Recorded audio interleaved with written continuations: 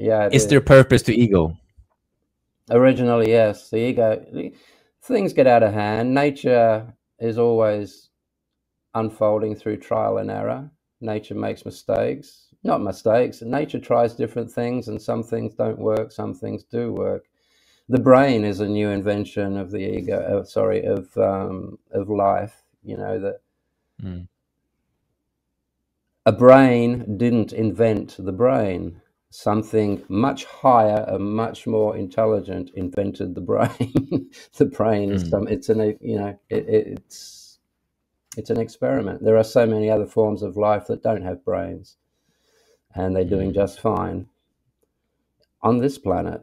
But let's not go into that. So eventually, mm. at some point, way way back, when we were closer to apes than we are today we're not that far away from apes, but anyway, you have um, where do I start with this?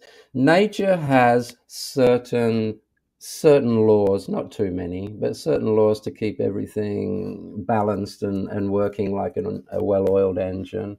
For instance, not even hypothetically, for instance, the speed of light. It, for a long time, that's been our uh, a speed limit out there you can travel at many, many, many speeds and get to places faster and faster and faster. But if you overgo a certain speed, you start to go backwards in time. So what does that tell you? pull up around about here, otherwise you stop moving mm. forward. So it, it's an indicator of when you're starting to go a little bit overboard with things. And life is full of that. Now, one of the inventions that life came up with was a self-survival unit, just like a motor car today. When a car with all of the sensors in it gets too close to a human being, it'll pull up on its own. It'll stop hitting the gutters because it's got sensors in the car. It can control itself. Therefore, it will, as a vehicle, it's going to survive a lot longer. In the same way, the human body, as a vehicle, has all of these sensors, and one of them is a computer chip that we we call our thought process. And that stops you from going into caves where there are, you know, wild bears that are going to mm. kill you. It's going to stop you from putting your hand in a fire once you've done it once. It's going to stop you from doing all the things that will kill you. it's a thing to use in order to survive. It understands that anything red is probably something you shouldn't really eat. Give it to someone else to try first Probably shouldn't have said that. no, that's what it's for. Now, yeah. eventually, as we've evolved, as life has evolved, um, most of the things that our brains used to warn us against, we've gotten rid of. we've gotten rid of all the predators out of our society, which isn't a good thing at the end of the day because predators are a necessary part of our evolution, the evolution of mm. life on this planet. And what's happened is we built a society to protect ourselves from predators. So now there's no societies where you're going to find wild wolves and bears and things running around down the main streets because they're dangerous things. We got rid of them all. So what mm. does nature do? It gave us our own predators within our own race. So now we've got a glut of serial killers. You know, they're our predators. Mm. You can't muck around mm. with nature. It will always replace what you try and take away. Mm. I don't know how I got onto that, but that's the that's the yeah. processor. So over years and years and years, as we've gotten rid of all of these things that it, it was meant to keep us safe from, it now mm. became a little bit redundant. So mm. it took off on its own, and it's become an ego, and it's taken over the world. and still, still kind of looking for that uh, tiger in the bushes, but yes, it, it's yes. no longer there. Yeah, yeah. so it, if it can't find them, it'll come up with bullshit enemies. It does it all the time. Look at what the government does. Mm. As soon as we start, as people, as soon as we start getting a little bit cantankerous or a little bit upset or agitated, the government will give us something to be fearful of. And then we'll all go, mm. ah, for about a month. And then the government will come and save us from the very creature it's given us.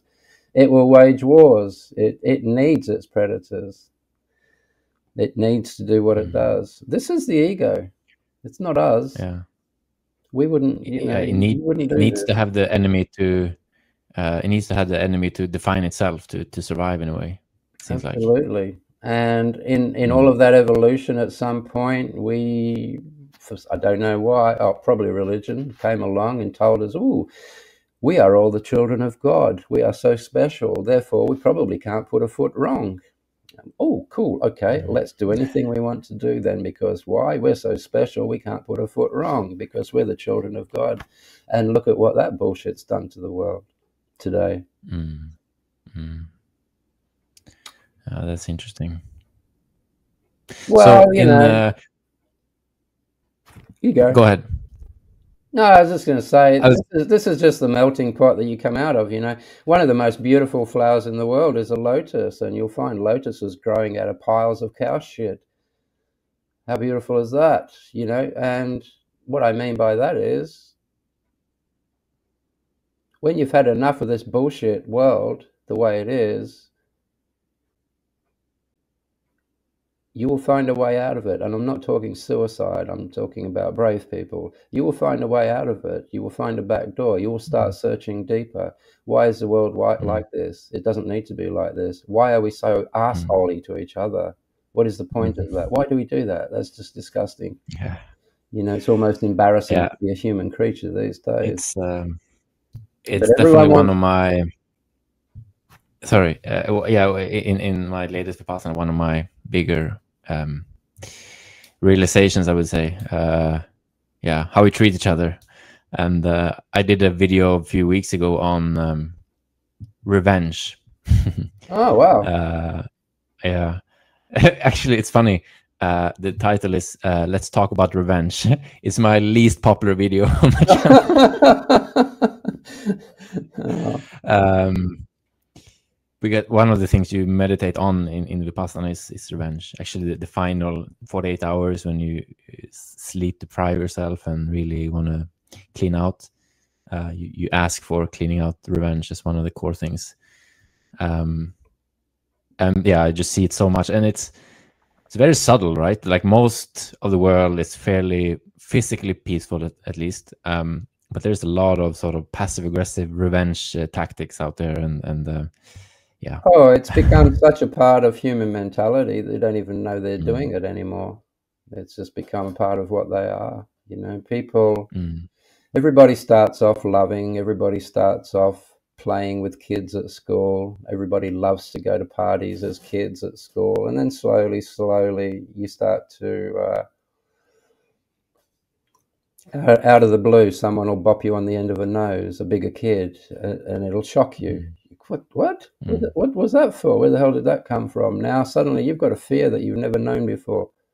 Another one of these creatures will bop you on the nose, and then someone else. As you grow up, people start to do bad things to each other. People start to insult each other. People start to get nasty with their words and their actions, and you, if you don't become the same yourself, you're in big trouble.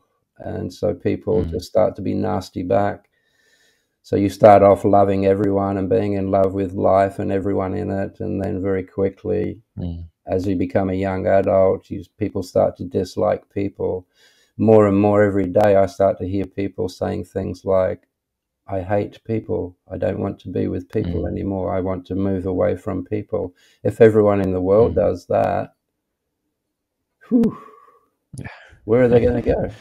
You see, yeah. Be, you, you, can't go on like this. People have got to stop mm. hating each other. People have got to yeah. get back to the way they were when they were children. People have yeah. got to start just wanting to wake up and enjoy the world now. You know, take control of the world. Like,